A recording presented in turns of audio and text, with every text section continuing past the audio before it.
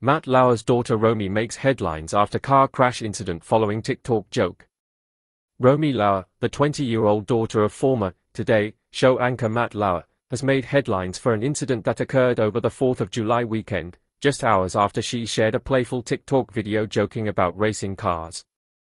The incident has drawn attention not only for its timing but also for the circumstances surrounding a late-night car crash, where Romy allegedly fled the scene.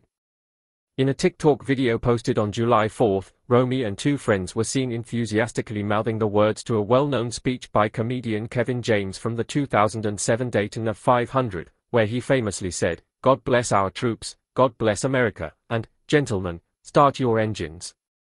Romy, visibly excited, delivered the last line with energy, waving her arms and smiling, seemingly embodying the carefree spirit of a festive holiday weekend. However, the light-hearted moment took a sharp turn shortly after, when around 4 a.m. on July 5, local residents heard a loud crash near North Sea Mecox Road in the Hamptons. Concerned for potential injuries, they alerted the police. Upon arrival, officers discovered a damaged fence, a broken sign, and a license plate that had been left behind, indicating that a vehicle had been involved in the incident.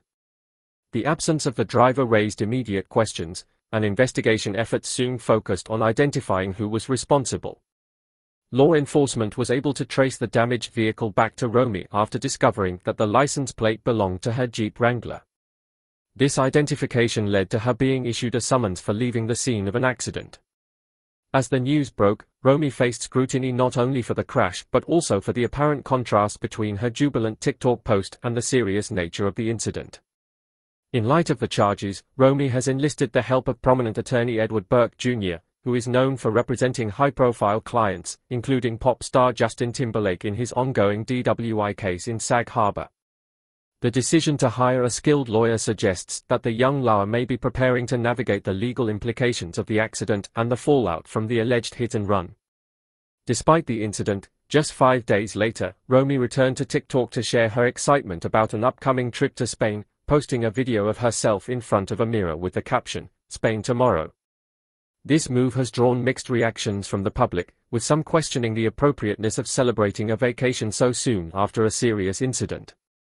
Romy is the daughter of Matt Lauer and his ex-wife, Annette Roque, and the couple shares two sons, Jack, 23, and Thijs, 17, in addition to Romy. While Romy navigates the aftermath of the crash, her father has remained silent, not issuing any public statement or response regarding the incident or its implications for their family.